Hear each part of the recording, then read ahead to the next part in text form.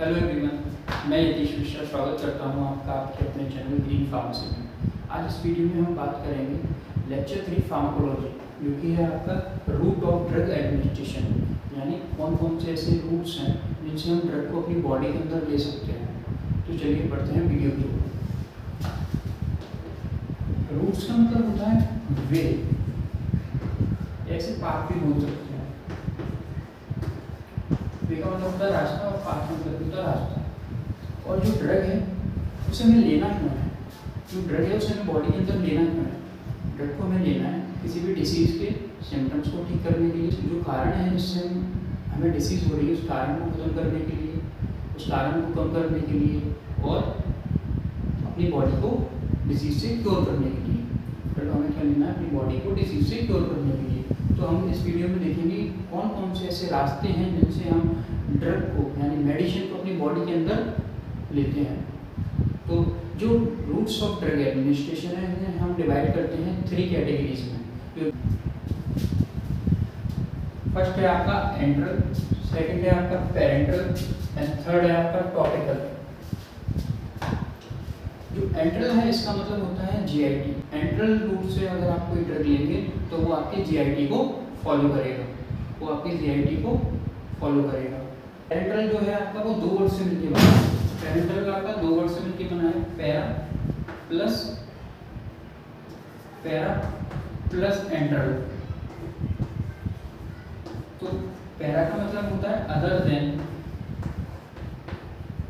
other than this और enteral का मतलब बताया मैंने आपको जीआईटी तो other than this GIT gastrointestinal tract follow नहीं होगा। और जो आपका टॉपिकल है, ये कुछ ऐसे ड्रग्स होते हैं जिन्हें हम अपनी स्किन और स्किन कैविटीज पे अप्लाई करते हैं, जिससे वो, जिससे स्किन से ही उसका ड्रग का एब्जॉर्प्शन हो जाता है आपके ब्लड में। एग्ज़ाम्पल क्या हो सकते हैं स्किन पे जो हम स्किन पे और स्किन कैविटीज पे जो ड्रग्स हम अप्लाई करते हैं, उसके एग्ज़ाम्पल क्या क्या हो सकते हैं? उसके एग्ज़ाम्पल हो सकते हैं आपके लोशन क्रीम तो ये सब इसके एग्ज़ाम्पल हो गए ऑइंटमेंट एंट्रल रूट्स कौन कौन से हो सकते हैं? सबसे पहला है आपका ओरल ओरल हम कौन कौन से ड्रग्स लेते हैं? Tablet capsule syrup emulsion suspension inhalers ये सब हम लेते हैं ओरली दूसरा है बक्तर अब बक्तर आप एग्जांपल से समझिए, जब आपके मुँह में अल्सर हो जाता है तो डॉक्टर आपको डॉक्टर आपके माउथ में एक लिक्विड डालता है और बोलता है, इसे आपको दो तीन मिनट तक रखना है, उसके बाद इसे आपको बाहर निकाल देना है। अल्सर के केस में यूज़ करा जाता है, आपने देखा होगा। दूसरा है सबलिंग सबलिंगल अब सबलिंगल है जो, इसमें क्या होता है, जो कुछ ड्रग्स होते हैं, उन्हें आपके टंग के नीचे टंग के नीचे से टंग के नीचे जो वेन होती है, उससे उसका डायरेक्ट एब्जॉर्प्शन हो जाता है ब्लड इसकी बायो इसकी बायो अवेलेबिलिटी होती है आपकी ओरल से ज़्यादा सबलिंगल वाले की। फोर्थ है वो हमारा डेंटल कोम्स अगर आपके दांत में या मसूड़ों में दर्द होता है, उस केस में हम डायरेक्ट अप्लाई करते हैं मसूड़े में या दांत पे कुछ ड्रग्स को तो वहाँ से भी आप ड्रग्स को लेते हैं। तीसरा है रेक्टल रेक्टल क्या होता है? बॉडी कैविटीज में ड्रग को इंसर्ट करा जाता है। अब बढ़ते हैं पेरेंटल की। यानी कि इसमें हमारा जी आई रूट फॉलो नहीं होगा, और जो पेरेंटल में हमारा पहला रूट है, वो है आई वी आई वी का फुल फॉर्म होता है इंट्रावेनस इसे आईवी भी बोलते हैं शॉर्ट में।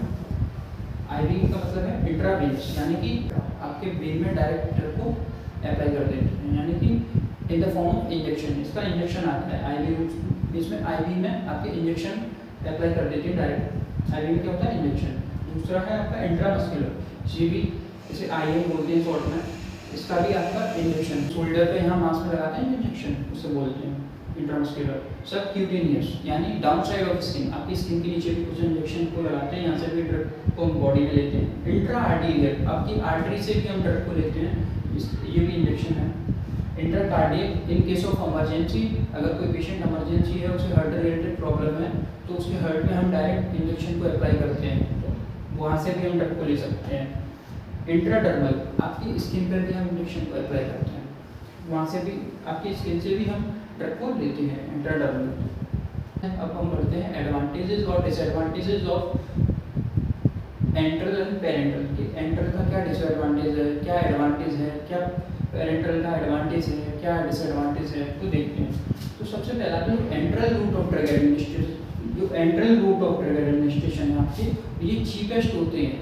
दूसरा इजीली अवेलेबल होते हैं, तीसरा यहाँ कोई फिजिशियन या स्पेशलिस्ट रिक्वायर्ड नहीं होता, इसे आप इजीली ले सकते हैं।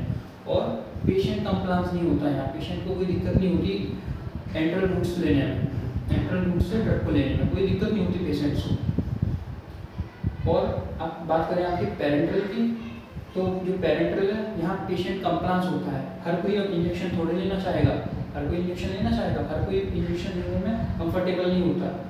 तो इसलिए यहाँ पेशेंट कंप्लांस होता है। इसका डिसएडवांटेज क्या है? पेरेंटल का कि पेशेंट कंप्लांस होता है। दूसरा कॉस्टली होता है ये। महँगा होता है एंट्रल से।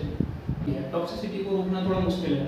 आप कभी डायरेक्ट वेन में लेंगे तो आपके टॉक्सिसिटी के चांसेस थोड़े ज़्यादा जो आपका एंट्रल है, इसमें बायो अवेबिलिटी कम होती है पेरेंट्रल से। सबसे ज़्यादा जो बायो अवेबिलिटी होती है ड्रग की वो होती है आईवी रूट की इंट्रा वेनस रूट की क्योंकि आपके डायरेक्ट फिर इंट्रा मस्कुलर उसके बाद सब क्यूटेनियस फिर इंट्रा आर्टेरियल फिर इंट्रा कार्डिक फिर इंट्रा टर्नल और आप ये चीज़ समझ सकते हैं कि जितना ज़्यादा फ़र्स्ट पास मेटाबॉलिज्म होगा ड्रग का, उतनी ही उसकी बायोअवेबिलिटी घटेगी।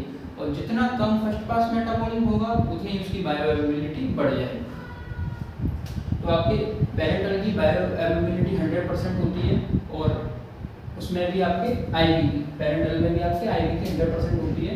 और एंट्रल में आपकी पेरेंटल से कम होती है। तो ये हो गए इसके कुछ एडवांटेजेस डिसएडवांटेजेस और कौन कौन से रूट्स और एडमिनिस्ट्रेशन होते हैं, वो हमने देख लिए। तो इस वीडियो में इतना ही, मिलते हैं नेक्स्ट वीडियो में नेक्स्ट टॉपिक के साथ। Thank you